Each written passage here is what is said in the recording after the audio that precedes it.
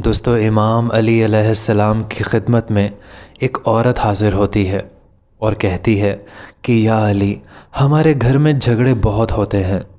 आपस में इत्तेफाक नहीं है। रिस्क में तंगी रहती है।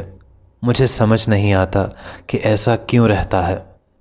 औरत का सवाल सुनकर इमाम आली मकाम ने फरमाया ए औरत, मुझे बताओ, जब तुम अल्लाह का रिस्क पकाती हो तो कुछ गिरता तो नहीं?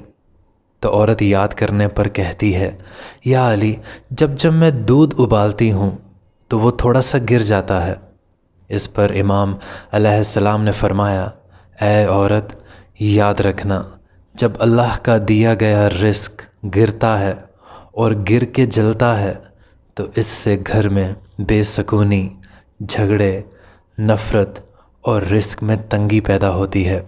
दूध को उबाल के पीना चाहिए, लेकिन साथ साथ ये भी ख्याल रखना चाहिए कि दूध ज़मीन पर ना गिरे।